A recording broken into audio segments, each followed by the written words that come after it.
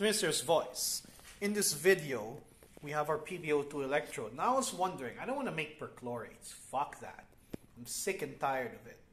So the next thing we're going to do is I have some sodium perchlorate in ethanol, and I'm just going to put some ordinary water in there. And I heard in the paper that platinum can oxidize ethanol into acetaldehyde when you run a current through it in the presence of perchloric acid. Now, obviously, to use sodium perchlorate. It's going to be the same anyway, you know. So the end. Of, so in this experiment, what I'm going to do is I'm going to use this lead dioxide electrode to hopefully see if acetaldehyde is forming. Now, I don't have a test for acetaldehyde, but there is a particular thing that will be made, or it's going to be obvious once it's made, for me at least. I don't know about for you, but at least you can replicate it. Whether or not this acetaldehyde will just end up off-gassing, I probably have to stop it right away if it ends up doing that, but let's get to it.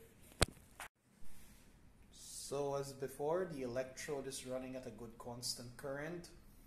And given this is a very dilute solution that isn't aqueous, the current density is very low.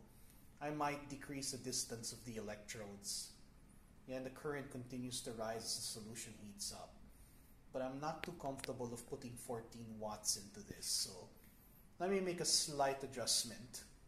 The electrode seems to be stable without degradation, because if this was unstable at 12 volts, this would start dropping fast, but it ain't. It's actually rising. Anyway, let me let me do an alteration to this setup before continuing. Okay, so I have uh, put them closer together. Voltage is stable, amps are climbing, and I'm only putting 10 watts through here. And there is an odor of cherry coming out of this. It's like very fruity. And the solution is taking on a slight yellow color. I'm assuming it's some sort of weird, I don't know. You have an aldehyde and an alcohol in the same solution. Wonder if aldol's happening or something. Anyway, I can smell the acetaldehyde, but only I need a way to prove it somehow with a cheap method because I don't have whatever the hell it is that I don't have Tollens reagent. I need that shit. Or I could make benzaldehyde, you know? But yeah, the current is continuing to rise though, so that's what I get for running constant voltage. God damn it.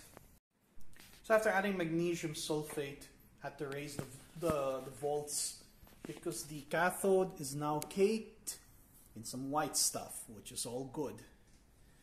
And the essence of fruit is getting worse. Uh, hopefully it doesn't get too bad. Now, carbon dioxide is another product in this reaction. As you can see, the amps are going up because I'm running at constant voltage. You notice that there's a cloudy layer coming in. I think that is magnesium carbonate. Yeah, temperature's going up, the current's going up, the watts are going up. Cell still looks the same. However, I read a paper that this has a high chance of producing acetic acid instead. So I'm either gonna get aldehydes or acetic acid or just CO2. I mean, I wouldn't know, but let's see. Okay, guys, this is getting really, really weird. So, when I get close to this thing, it starts to smell like really bad cherries. Like, it. I think I'm producing acetaldehyde because this is getting cursed. You know, I might have to run this somewhere else or put it outside because yeah it's getting it's it's not there yet but yeah I can I from here I can smell the cherry. I think we're producing mainly acetaldehyde. Maybe I should start cooling it down or something. Anyway the next thing I'm gonna do is probably that. Because yeah this is this is literally it does not smell like ethyl alcohol, that's for sure. It smells like really strong fruits. I don't know if it's a mixture of acetic acid and ethyl alcohol or is or this is acetaldehyde. I would guess it's the aldehyde.